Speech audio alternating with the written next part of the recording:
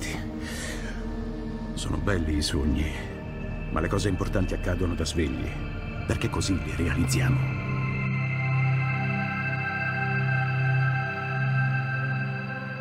Buongiorno a tutti e benvenuti a un nuovo appuntamento con il viaggio dell'eroe, il viaggio dell'anima. Decidere di fare un film di fantascienza o un fantasy è sempre un grande interrogativo per un produttore e soprattutto per un regista. Può risultare al tempo stesso una delle scelte più facili perché garantisce ampi margini di manovra e concede più di una libertà, ma può anche rivelarsi una delle imprese più complicate, perché il buon esito del film di fantascienza dipende da pochi fattori apparentemente semplici, ma assai rischiosi da gestire. La trama deve essere avvincente e al tempo stesso realistica, cioè avere dei collegamenti con la realtà che sperimentiamo oggi, altrimenti sfocia in un qualcosa di troppo distante o inverosimile che nessuno spettatore sarà in grado di apprezzare. Per quanto detto in altri miei contributi, se non avviene la magia di medesimarci nell'eroe della vicenda, come spettatori perdiamo interesse in ciò che vediamo. I personaggi quindi devono essere credibili, al tempo stesso devono esserci novità importanti, altrimenti nel guardarlo ripercorreremo la nostra memoria alla ricerca del e questo dove l'ho già visto. Ultimo ma non ultimo, il messaggio deve superare le barriere del tempo in cui si svolge la vicenda ed essere il più possibile valido per qualsiasi epoca.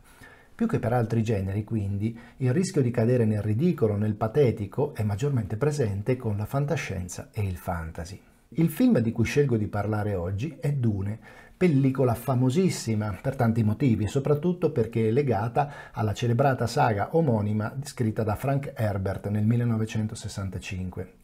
La produzione affidata a David Lynch nel 1984 fu un vero e proprio fiasco in termini di ritorno dell'investimento Eppure lo stesso film ebbe un clamoroso successo con l'home video negli anni successivi, tanto da recuperare la perdita iniziale.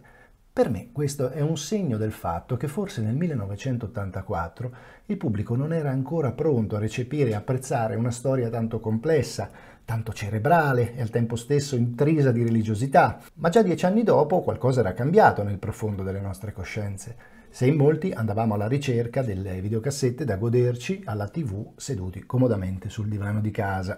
Nel 2021 il regista Denis Villeneuve decise di ripresentare la saga di Dune realizzando il primo atto. Il secondo atto non è ancora uscito nelle sale cinematografiche, ma la prima parte è stata premiata con ben sei premi Oscar. Ci sono differenze sostanziali tra le due opere e non poteva essere diversamente, visto che le separano quasi 40 anni. Quella diretta dall'allora giovanissimo David Lynch nel 1984 è un film di poco più di due ore, dove si percepisce lo sforzo immane di concentrare una storia molto lunga in un tempo sufficientemente breve da essere consumato da un pubblico generalista e poco avvezzo alla fantascienza, sebbene nello stesso periodo Guerre Stellari accogliesse l'entusiasmo di tutti. Ci sono molti difetti in questa produzione e non solo a mio avviso, perché lo stesso Lynch è stato estremamente critico con il suo lavoro. Tuttavia il film dà ampio spazio e giusta enfasi a far capire allo spettatore che dietro una vicenda di guerre spaziali e di sporche macchinazioni politiche si cela la vera trama che è un intrigo operato da anime spiritualmente votate al lato oscuro e che fallisce per opera di un qualcosa di più grande di loro, la venuta di una specie di messia. La stoffa di Lynch è innegabile e si vede già in questa opera giovanile l'amore per il mondo onirico e per la chiaroveggenza, che saranno poi un tema costante delle sue produzioni successive. Il film però corre precipitosamente nel finale, come a far intendere che si è indugiato troppo prima e il tempo è finito e forse che anche i soldi sono finiti, insomma che bisogna concludere in fretta. Villeneuve invece non cade nell'errore del suo famoso predecessore ed espande le due ore di narrazione di quello in una produzione che presumo si attesterà in cinque ore complessive tra parte 1 e parte 2. Non ne posso parlare più di tanto perché, eh, se non erro, la seconda parte uscirà durante le feste di Natale. Ciò che mi è apparso però chiaro guardando solo la prima parte è che questo regista ha cercato di essere il più fedele possibile al romanzo e quindi anche molto molto didascalico, dando a ogni vicenda e a ogni particolare la stessa enfasi. Di quale Dune parlare in questo mio video dunque? Per quanto appena detto ci sono grandissime differenze tra i due film e non mi riferisco agli effetti speciali perché sarebbe un confronto ingiusto quanto all'atmosfera creata dai due registi. Come già anticipato, Villeneuve è più fedele al romanzo, più realistico. Lynch è più sbrigativo, ma forse pone maggiore attenzione sui punti chiave della narrazione. Pertanto la mia decisione è di prendere il primo in ordine di tempo come riferimento, anche se coglierò spunti pure dall'ultimo, cercando di trarre il meglio tra i due per quanto mi sarà possibile. La trama non è delle più semplici. In un futuro molto lontano, circa 8.000 anni da oggi, l'impero estende la sua influenza su spazi sterminati di universo, tra i quali il pianeta Arrakis, chiamato Dune per il fatto che è un globo completamente coperto di sabbia e, seppur provvisto di un'atmosfera respirabile, è invivibile per la mancanza di acqua e per il clima torrido tipico di un deserto. Ciò che rende però questo pianeta preziosissimo per tutto l'universo è la presenza della spezia, chiamata anche melange. È una sostanza psichedelica, forse della stessa famiglia dell'LSD, che si estrae dalle sabbie e che coprono il pianeta e che conferisce il dono della premonizione e amplifica le capacità mentali. È grazie a questa proprietà che è possibile attivare il viaggio interstellare, cioè i salti in iperspazio che altrimenti renderebbero impossibile percorrere distanze siderali in così poco tempo. A poco i navigatori annulleranno lo spazio. Il gas prodotto dal melange ci permetterà di viaggiare senza muoverci. Per questo motivo quel pianeta è da sempre nell'interesse dell'impero come sito di primaria importanza. Avere la responsabilità del governo di Arrakis è un altissimo onore, fonte di grandi guadagni, ma anche un'enorme responsabilità. A rendere complicate le attività di estrazione sono i nativi del luogo, i Fremen, seguaci di una religione che ritiene la spezia sacra e quindi inviolabile, ed estrarla per meri scopi commerciali è considerato un sacrilegio al quale si oppongono con tutti i mezzi possibili. Ma la minaccia più grossa è rappresentata dalla presenza di enormi vermi delle sabbie, creature scatenate da vibrazioni del terreno molto lievi anche dal semplice passeggiare di un uomo sulla sabbia e pronte a inghiottire qualunque cosa capiti a tiro delle loro bocche immense.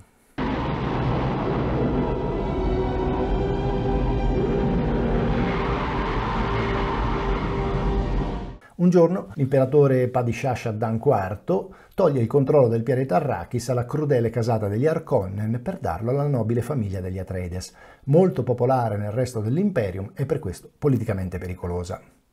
L'azione cela in realtà una trappola perché l'imperatore teme che il duca Leto Atreides possa insidiare il suo potere con la sua popolarità.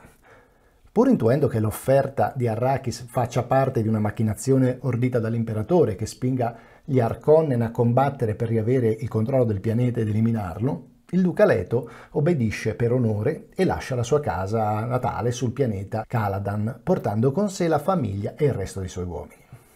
Il figlio del duca, Paul, è un giovane la cui preparazione culturale, fisica e psichica è stata curata dai migliori precettori. È intelligente, curioso e dotato di tenui poteri di chiaroveggenza, probabilmente ereditati dalla madre.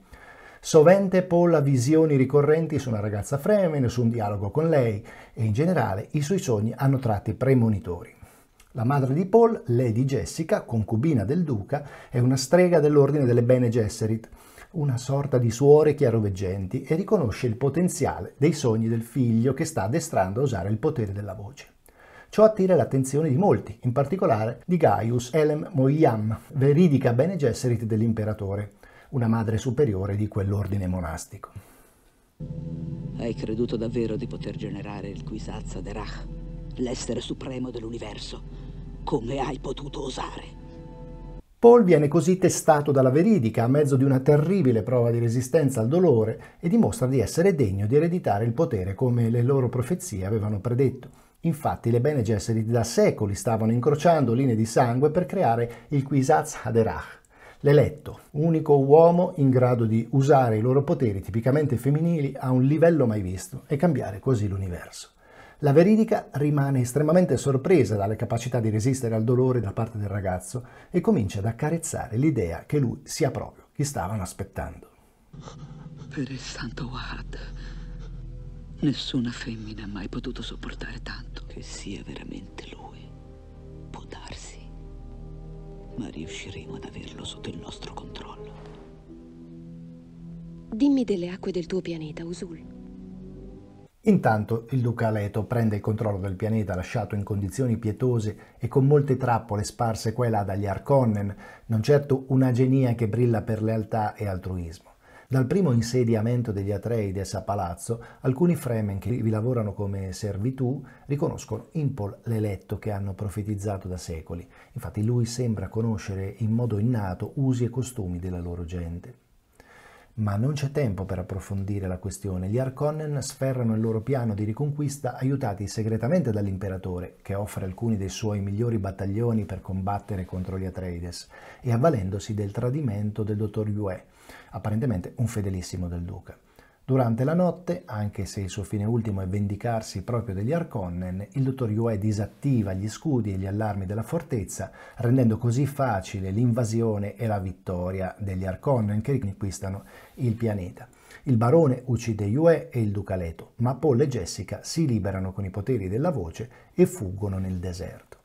Il nipote del barone, Raban, riprende il controllo di Arrakis e dà la caccia ai due fuggitivi, ma il giovane Atreides ha ormai visioni sempre più chiare del futuro, grazie anche all'assunzione quotidiana della spezia. Tu lo sapevi che la spezia mi avrebbe cambiato, ma grazie ai tuoi insegnamenti sta ampliando la mia conoscenza. Adesso vedo, adesso riesco a vedere. Allora è lui. Tu porti mia sorella nel tuo ventre sa tutto. E appare ai Fremen che incontra nel suo cammino come colui che stanno attendendo dalle profezie.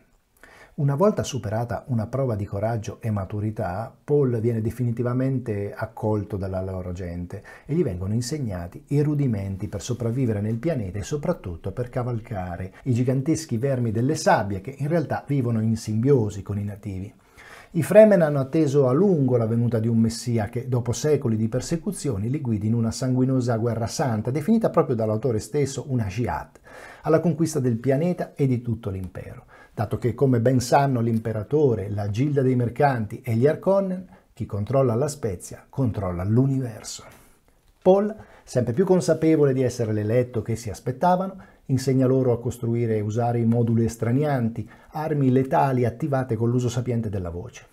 In seguito i Fremen, guidati da Paul, dilagano su tutto il pianeta e sconfiggono ripetutamente le truppe Arconnen, che invano cercano di proteggere le trivelle di estrazione e i trasporti di spezia. Sconfitta dopo sconfitta, gli Arconnen non sono più in grado di garantire la produzione della prestigiosa droga e ciò richiede l'intervento diretto dell'esercito imperiale, guidato dallo stesso imperatore, che raggiunge Arrakis con l'intento di riportare l'ordine e uccidere Paul. Nella battaglia finale, Paul e i Fremen lanciano un attacco contro gli invasori, cavalcando i vermi delle sabbia e brandendo le loro armi sonore, i guerrieri Fremen li sconfiggono.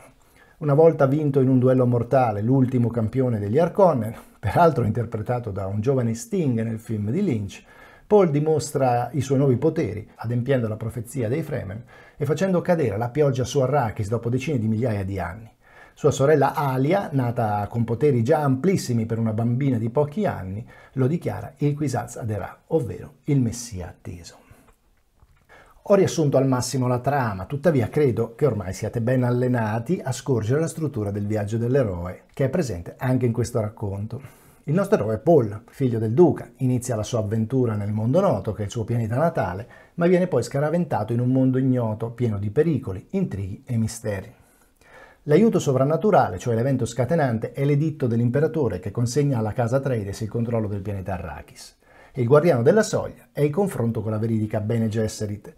Che siamo nel mondo magico non vi è mai dubbio in questo film, più che in altri di pari generi confronto con Guerre Stellari viene naturale per ovvi motivi e in entrambi c'è la presenza della magia rappresentata in un caso dall'ordine degli Jedi e nell'altro da questa potente sorellanza delle Bene Gesserit, più inquietante e assai meno orientata positivamente di quanto siano i Jedi nella saga di George Lucas. Superato il guardiano della soglia con molto dolore, al giovane eroe si affiancano come aiutanti la madre, alcuni suoi collaboratori che si alternano durante la narrazione, sua sorella e tutto il popolo dei Femen, vermi inclusi. Il mentore, invece, non è ben presente. Per un brevissimo momento è la madre a svolgere il compito e si percepisce meglio nel film di Villeneuve, come si può vedere in questa clip. Grazie. Se la vuoi, obbligami tu. Usa la voce. Dammi l'acqua. Non al bicchiere, ordinalo a me. Dammi l'acqua.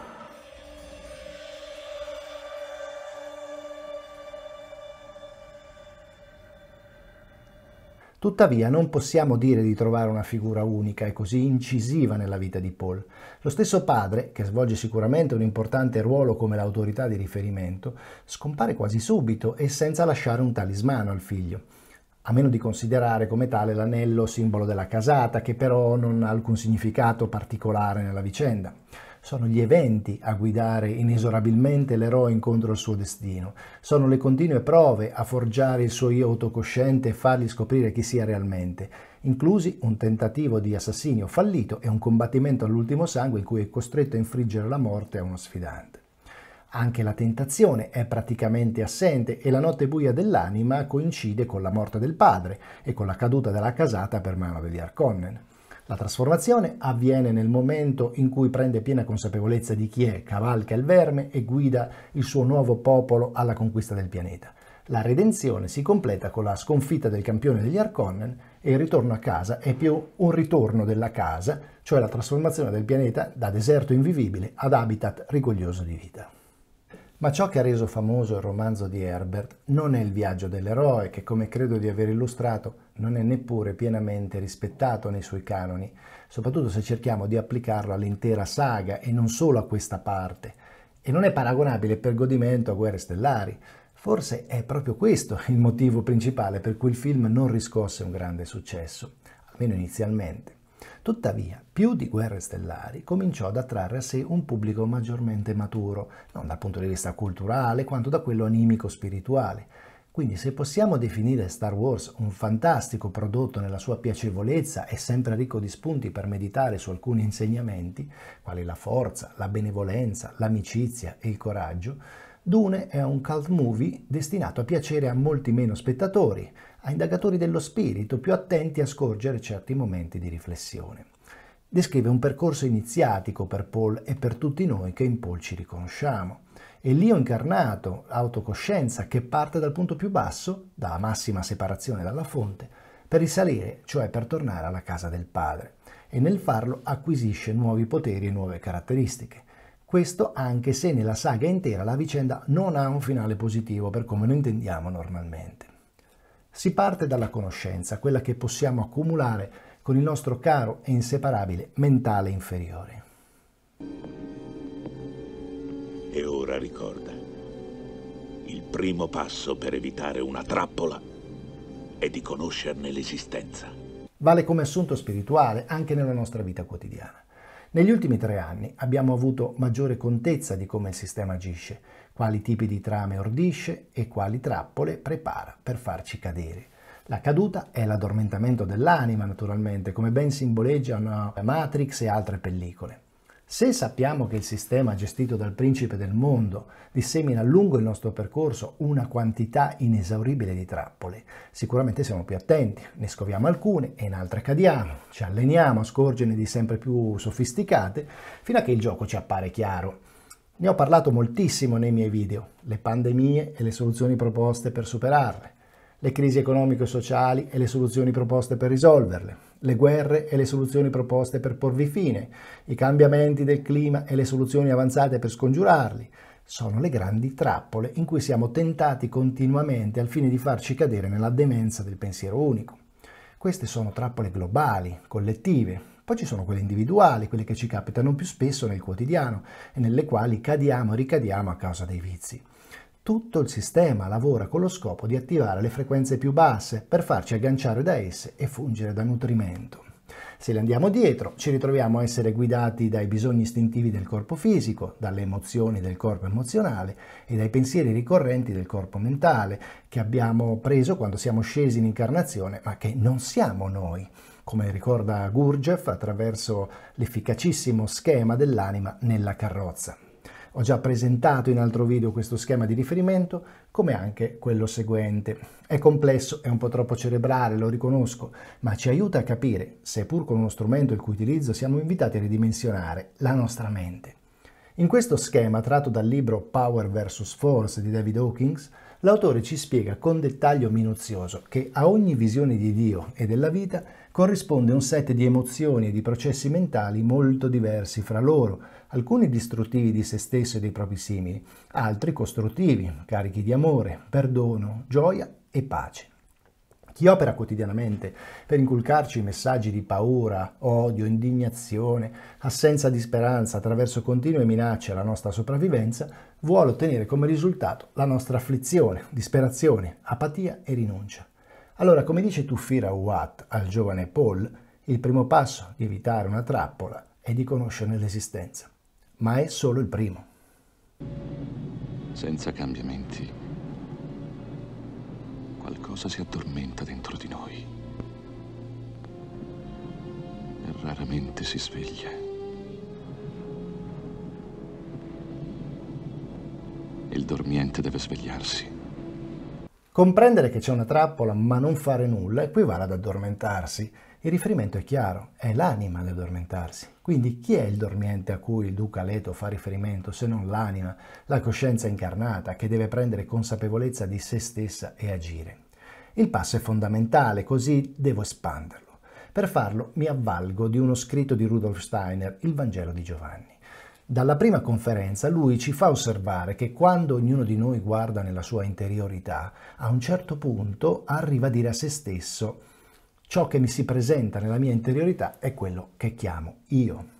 L'io si differenzia da tutte le altre cose del mondo esteriore. A ogni altro oggetto del mondo possiamo assegnare un nome dall'esterno. Come esempio ci dice che possiamo dire tavolo al tavolo o orologio all'orologio ma non potrà mai risuonare il nome io al nostro orecchio quando si riferisce a noi stessi, perché l'io deve venire pronunciato dall'interiorità.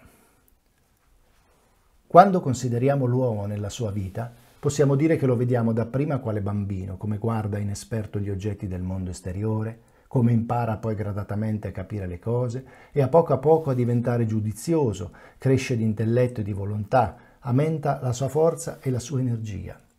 Vi sono però uomini che non crescono soltanto in questo modo. Vi sono sempre stati uomini che si elevano a uno sviluppo superiore al normale e si arrivano a trovare, per così dire, un secondo io, capace di dire tu al primo io, come quest'ultimo dice tu al proprio corpo fisico e al mondo esteriore. In un certo senso capace di guardare dall'alto al primo io. Questo rappresenta un ideale per l'anima umana e si presenta come una realtà per chi segue le indicazioni degli indagatori dello spirito e per chi dice a se stesso l'io che finora ho conosciuto prende parte a tutto il mondo esteriore. Esso è effimero come il mondo esterno. In me però è latente un secondo io del quale gli uomini non sono consapevoli, ma del quale possono divenire coscienti. Esso è altrettanto collegato con ciò che è imperituro, come il primo io è collegato con ciò che è transitorio e perituro. Con la rinascita, questo io superiore può guardare nel mondo spirituale, come l'io inferiore per mezzo dei sensi, occhi, orecchi e così via, può guardare al mondo sensibile. Ciò che si chiama risveglio, rinascita, iniziazione, continua Steiner, è il più grande evento dell'anima umana perché ha una connessione con l'evento del Cristo Gesù. Voglio sapere di mio padre. Paul, ascolta la reverenda madre e fa quello che ti dirà di fare.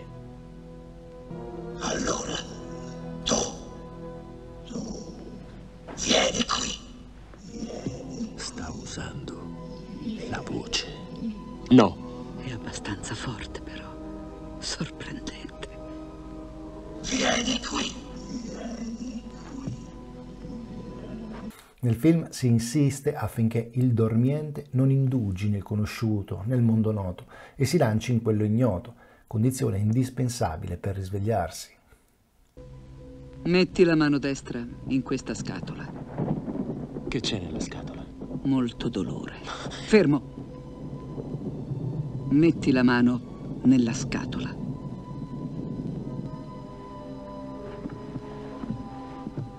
Questo è forse il momento più potente del film. L'eroe comprende che se si lascia prendere dalla paura, precipiterà nell'addormentamento della sua anima. Ti sto puntando al collo il Gom Jabbar. Questo ago velenoso uccide solo gli animali. Vorreste dire che il figlio del duca è un animale? Diciamo che secondo me potresti essere umano. Notate come lo scrittore Frank Herbert, fedelmente ripreso da Lynch e non altrettanto bene da Villeneuve, attraverso la veridica sottolinea il fatto che se lui si lascia prendere dalla paura, morirà per il veleno di un ago che uccide solo gli animali. Il tuo spirito può essere abbastanza potente da controllare il tuo istinto. Il tuo istinto sarà quello di ritrarre la mano dalla scatola. Se lo farai, morirai. Ciò che differenzia l'uomo dall'animale è il controllo degli istinti, l'io autocosciente che tiene a bada le emozioni inferiori e che l'animale non ha perché ha solo una coscienza collettiva e non una individuale incarnata. Avvertirai una sensazione strana. Adesso la sensazione diventerà bruciore, calore, ancora più calore, ancora più calore. Mi bruci! Silenzio, silenzio! Chi cade vittima della paura è più vicino a un animale umanoide che a un uomo evoluto. Mi spiace scendere ancora più nel dettaglio, ma voglio che sia chiaro quale tipo di trabocchetti il sistema ha sempre messo in atto, ma recentemente è stato più evidente, e di quali tipi ne metterà da qui in avanti. Non devo aver paura. La paura uccide la mente.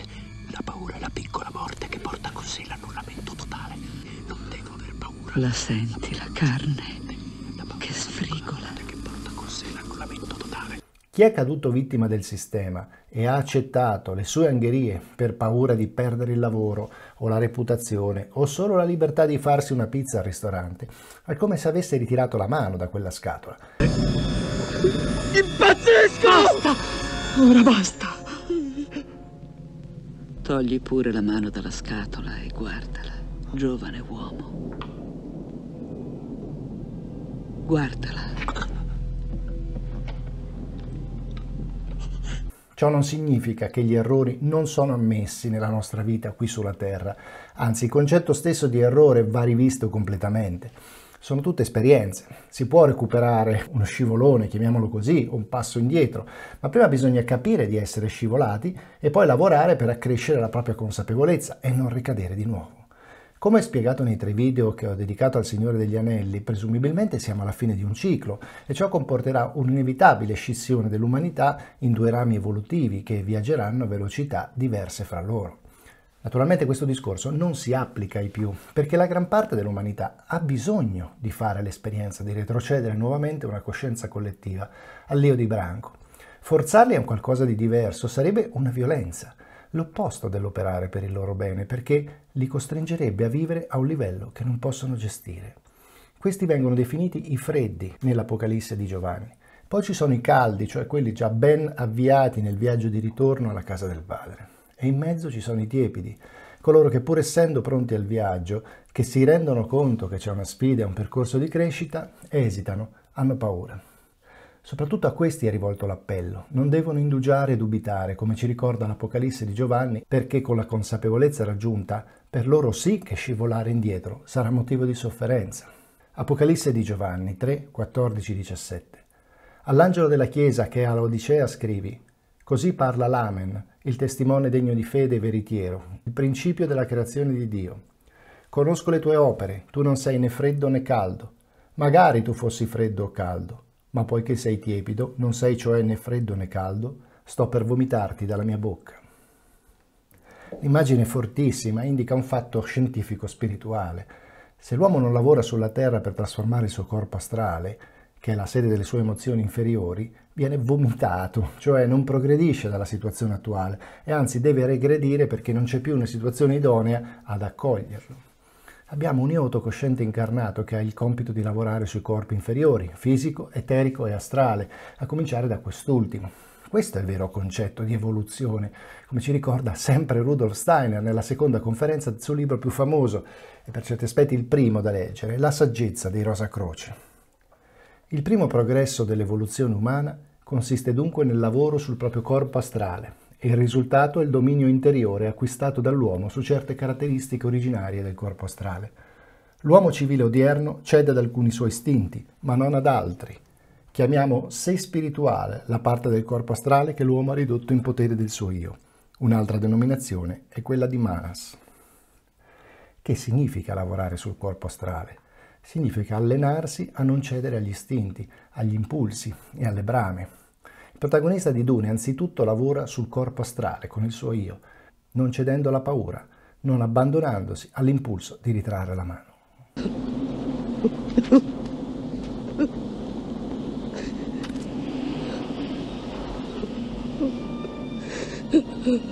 Dove sono i miei sentimenti? Non provo niente per nessuno.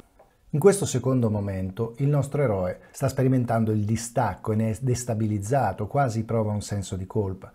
Anche se apparentemente ancora non del tutto consapevole, sta imparando che la vita va al di là dell'esperienza terrena, che niente muore veramente se non degli involucri utili alla sperimentazione, ma che non corrispondono a niente di nostro. Con la morte non perdiamo nulla della nostra vera essenza, niente che valga la pena trattenere e ci apriamo a una nuova fase del ciclo. Ciò che portiamo con noi sono le esperienze e i sentimenti superiori attivati da tali esperienze. Sono quelli che vanno a formare il corpo causale che ci accompagnerà nelle nostre future incarnazioni, anche se non ce ne ricorderemo. Sempre dalla seconda conferenza nella saggezza di Rosa Croce. Nel suo ulteriore sviluppo l'uomo impara a lavorare con le forze del suo io non soltanto sul corpo astrale, ma anche su quello eterico. Si rifletta a quanto si sapeva a otto anni, alle moltissime cose che si sono imparate da allora. Ognuno ha preso una grande quantità di concetti che lo determinano a non più seguire ciecamente i suoi impulsi e le sue passioni. Ma se qualcuno collerico da bambino esamina fino a che punto la collera sia stata vinta, troverà che qualche volta essa si manifesta ancora. Allo stesso modo, chi avrà una memoria debole solo poco sarà riuscito a migliorarla. Altrettanto poco l'uomo modifica le sue tendenze caratteristiche, la forza o la debolezza del suo carattere. Se si è trasformata una memoria debole in una forte, la collera in dolcezza, un temperamento malinconico in uno sereno, si è fatto assai più che non avendo imparato moltissime nozioni. Questa trasformazione è una sorgente di intime forze occulte, l'espressione dell'attività dell'io sul corpo eterico invece che sul solo corpo astrale. La parte del corpo eterico che l'io ho potuto trasformare prende il nome di spirito vitale. Nella letteratura teosofica lo spirito vitale è chiamato buddhi e la sua sostanza è la parte di corpo eterico trasformata dall'io. Completiamo la descrizione che Rudolf Steiner fa dell'io che lavora sui tre corpi.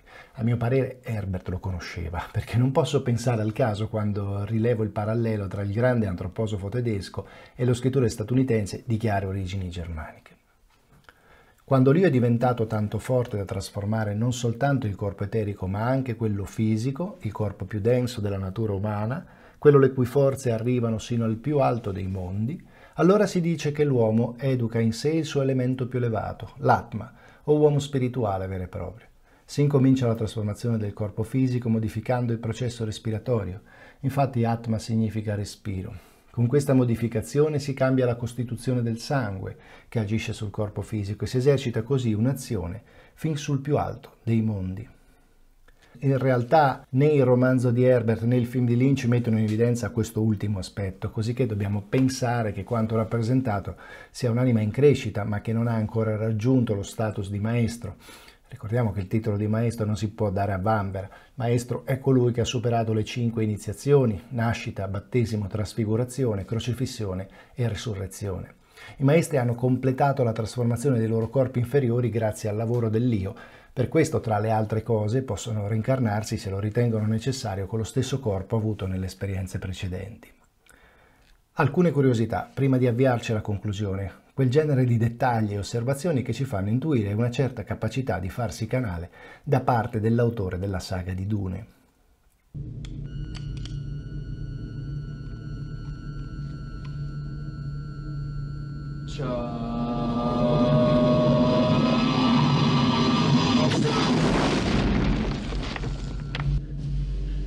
Alcuni pensieri emettono dei suoni che diventano l'equivalente di una forma solida. Sempre dalla saggezza di Rosa Croce, tredicesima conferenza, Steiner ci dice che mentre l'uomo oggi può avere con i suoi pensieri una pallida influenza sul corpo fisico, come ad esempio far affluire o defluire il sangue dalle sue guance a seguito di un'emozione, in precedenza, cioè nel periodo atlantico e in quelli precedenti, egli si trovava interamente sotto l'influenza di un mondo di immagini, espressione del mondo spirituale, che gli permettevano di lavorare molto più intensamente alla trasformazione del suo organismo, anche perché il corpo era più plastico, i minerali, quindi anche il sistema osseo, erano assenti. Nella nostra epoca materiale questa trasformazione è la più lenta possibile, ma in avvenire ritornerà più rapida. Allora l'uomo avrà maggiore influenza sulla sua corporità fisica. Diventando sempre più plastico, vale a dire eliminando le parti dure, l'uomo va incontro al suo avvenire, l'uomo trasformerà soprattutto il sistema della procreazione. La laringe umana già oggi si prepara a diventare il futuro organo della riproduzione. Oggi essa può solo produrre vibrazioni sonore, può soltanto trasmettere all'aria il contenuto delle parole, in modo che le onde corrispondano alle parole stesse. Più avanti, alla laringe non si farà strada soltanto la parola con il suo ritmo, ma l'uomo potrà illuminare e compenetrare la parola con la materia stessa. Mentre oggi la parola diviene solamente onda sonora, in avvenire l'intimo essere dell'uomo, la sua stessa immagine, verrà emessa dalla laringe, come oggi avviene per la parola. Quindi l'uomo del futuro sarà in una forma più spiritualizzata di ciò che attualmente e il futuro organo di procreazione sarà la laringe. Non avremo più bisogno di un organo esterno che penetrando feconderà un altro essere umano, ma sarà l'essere umano stesso che troverà in sé la forza di autofecondarsi e così generare una nuova vita. Sembra incredibile, ma a ben guardare vi è un'evidente affinità morfologica tra questo futuro organo della procreazione e quello attraverso il quale attualmente passano i nascituri. Così come nella vagina ci sono le grandi labbra esterne, nella laringe troviamo le corde vocali false, mentre alle piccole labbra, che sono più interne, corrispondono le corde vocali vere. Entrambi questi due organi sono dotati di elasticità, cioè la capacità di variare l'apertura della fessura. Andando oltre e osservando l'apparato respiratorio, notiamo che è formato dai due polmoni e dalla trachea per poi giungere attraverso la laringe alle corde vocali. Nell'apparato riproduttivo femminile si hanno due ovaie che confluiscono nell'utero e poi giungono così all'apertura verso l'esterno. Da questa osservazione ci rendiamo conto che i due apparati non sono proprio speculari. Nell'apparato respiratorio manca un organo cavo analogo all'utero, però questo potrebbe essere in perfetto accordo con quanto ci dice Steiner. I futuri neonati non verranno portati in grembo come accade al giorno d'oggi, bensì nel momento in cui verranno concepiti saranno anche idonei alla vita esterna e quindi potranno essere generati. La spezia è paragonabile al peyote o mescalito uh, o ai funghi allucinogeni che hanno proprietà molto simili all'LSD. Penso che qui sia chiaro il riferimento a tali sostanze psicotropiche e psichedeliche che hanno più di un effetto collaterale, eh, ma una chiara apertura alla sperimentazione di un altro mondo. Che sia chiaro, non è nostro obiettivo raggiungere quella sperimentazione attraverso l'uso di sostanze chimiche. Il nostro obiettivo è sviluppare l'io a un punto tale che la chiaroveggenza sarà disponibile come conseguenza della crescita spirituale. Ma non possiamo dimenticare che nel periodo in cui Herbert scriveva i suoi romanzi la diffusione dell'LSD era piuttosto ampia. Guardiamo invece attentamente la simbologia della scena seguente. Se tu sarai una reverenda madre, sarà solo Shayulud a giudicarlo. L'acqua della vita. Che succederà alla figlia che porto dentro? Dovrò farlo anch'io, un giorno. Quel fumo sembra incenso, come suggerisce anche una specie di sacerdote che agita una scatola alla sinistra. L'incenso ha una grande valenza simbolica, è un segno di preghiera, un segno di ordine e pulizia, di sacrificio, di onore e rispetto. Quando si parla di incenso il pensiero corre al dono dei magi, ma la scrittura è ricca di molti altri riferimenti. Nell'Apocalisse l'incenso simboleggia l'adorazione. Apocalisse 8, 3, 4. Poi venne un altro angelo e si fermò all'altare reggendo un incensiere d'oro. Gli furono dati molti profumi perché li offrisse insieme con le preghiere di tutti i santi, bruciandoli sull'altare d'oro posto davanti al trono. E dalla mano dell'angelo il fumo degli aromi salì davanti a Dio insieme con le preghiere dei santi. Attualmente, nei riti delle esequie o della consacrazione di una nuova chiesa si prevede esplicitamente l'utilizzo dell'incenso. È un segno di onore e rispetto che sale a Dio in connessione con il sacrificio della vita della persona. Il profumo dell'incenso è segno di quel sacrificio di lode che è la vita del giusto, spiega il rito delle esequie. Ma in questo momento del film l'eroe non è morto, anzi si appresta a concentrare su di sé amplissimi poteri del mondo materiale, insieme con la madre.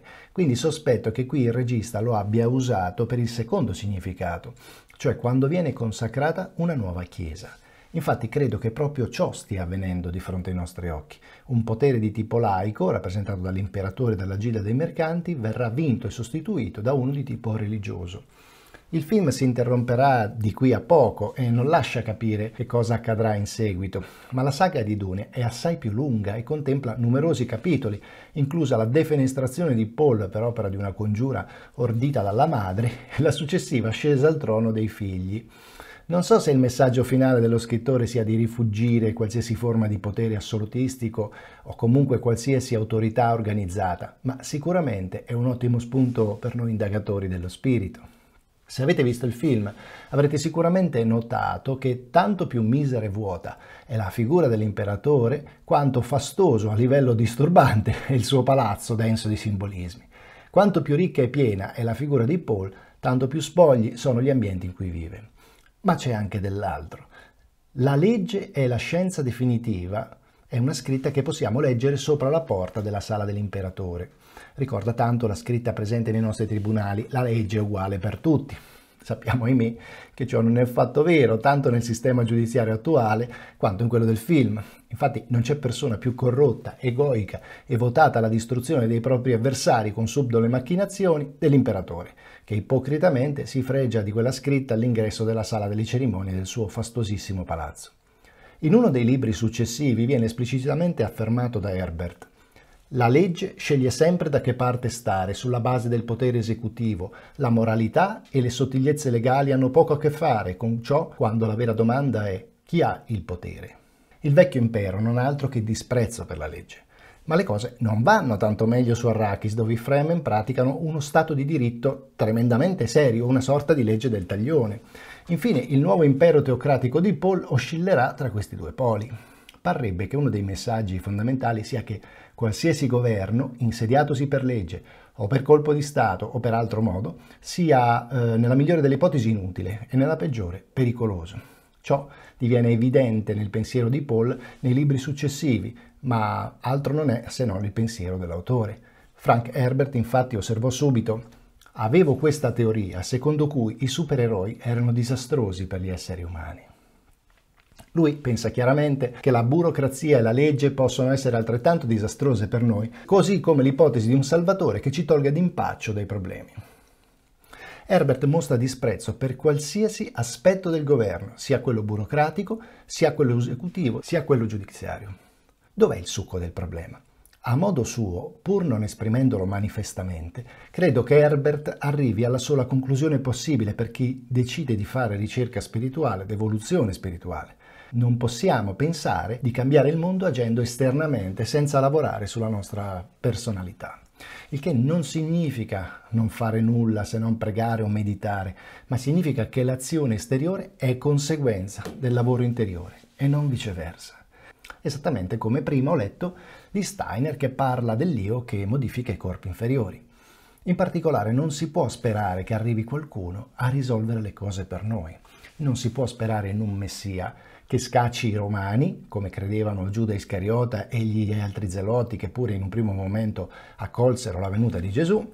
Non si può credere di risolvere i problemi attuali eleggendo un nuovo rappresentante politico, come per un certo momento abbiamo creduto in molti affidandoci all'apparente nuovo che nuovo non era, o a un salvatore d'oltreoceano che rimetta le cose a posto.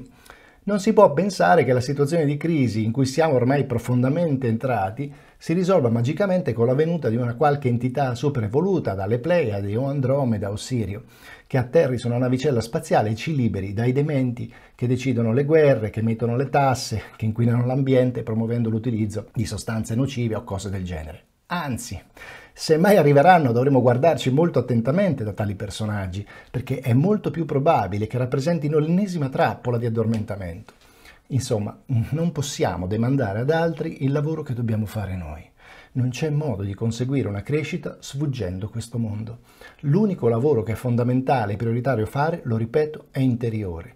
Solo cambiando al nostro interno possiamo vedere i cambiamenti all'esterno. L'esterno funge da specchio per ciò che abbiamo dentro di risolto e c'è un solo modo per lavorare, sperimentare aprendoci con fede assoluta e senso di meraviglia verso l'imprevedibile. Il mistero della vita non è un problema da risolvere, ma una realtà da sperimentare. Un processo che non si può comprendere arrestandolo. Dobbiamo seguire il flusso del processo, unirci a esso, fluire con esso. Lasciati Lasciati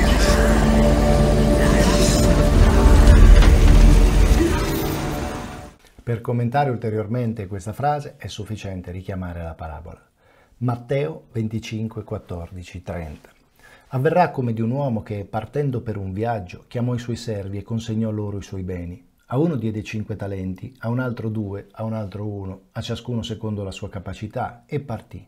Colui che aveva ricevuto cinque talenti andò subito a impiegarli e ne guadagnò altri cinque. Così anche quello che ne aveva ricevuti due ne guadagnò altri due. Colui invece che aveva ricevuto un solo talento andò a fare una buca nel terreno e vi nascose il denaro del suo padrone. Dopo molto tempo il padrone di quei servi tornò e volle regolare i conti con loro. Colui che aveva ricevuto cinque talenti ne presentò altri cinque dicendo Signore, mi hai consegnato cinque talenti, ecco, ne ho guadagnati altri cinque. Bene, servo buono e fedele, gli disse il suo padrone, sei stato fedele nel poco, ti darò autorità su molto. Prendi parte alla gioia del tuo padrone. Presentatosi poi colui che aveva ricevuto due talenti, disse, Signore, mi hai consegnato due talenti, vedi, ne ho guadagnati altri due.